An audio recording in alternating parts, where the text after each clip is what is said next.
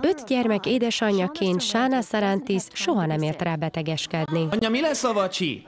Húsos káposzta. Mikor lesz kész? 2012-ben olyan tüneteket észlelt magán, amik felborították életét.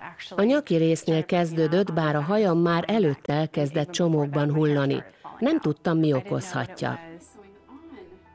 Néhány hónapon belül felkeresett egy bőrgyógyászt.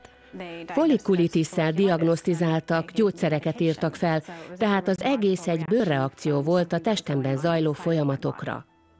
Sajnos egyik gyógyszer sem segített.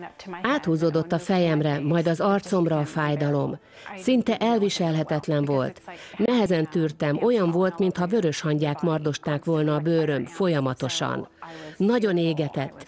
Irritált voltam, nagyon fáradékony, nem tudtam pihenni, a házból szinte ki sem mozdultam. Gyülekezetbe se jártam el, sehova sem mentem.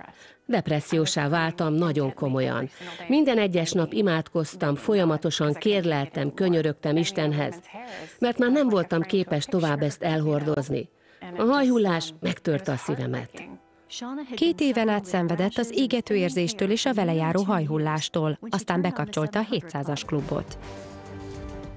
És akkor meghallottam, hogy valaki égető érzést érez a fejbőrén. Senki nem tudja, mi okozza, de Isten igen, a műsorvezető Teri azt mondta, valakinek igen furcsa, fejbőrét érintő problémája van. Szúró, viszkető érzés, egy teljesen zavaros állapot. Isten most meggyógyítja önnek. Én nem tudom, mi okozhatja, de Isten igen, és most egy teljesen egészséges bőrt teremt önnek. Teljesen ledöbbentem. Visszatekertem, tizenkétszer hallgattam meg. Utána egész nap ezt játszottam le. Éreztem, hogy Isten végre meghallgatott. A következő két hétben a viszketés és égőérzés alább hagyott, a haja pedig elkezdett újra kinőni. Hónapokkal később a probléma gyökerére is fény derült. Egy specialistát kerestem fel. Együtt kiderítettük, hogy a gyulladást a pajzsmirigyem elégtelen működése okozta. Megfelelő diétával Sáná tünetmentesen újból normális életet élhet. Azt állítja, sokat tanult ez alatt a két év alatt.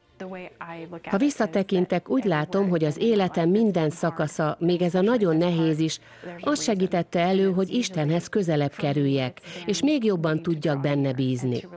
És hogy higgyek, ne csak mondjam, hanem tényleg is higgyek. Isten ismeri a szívünket.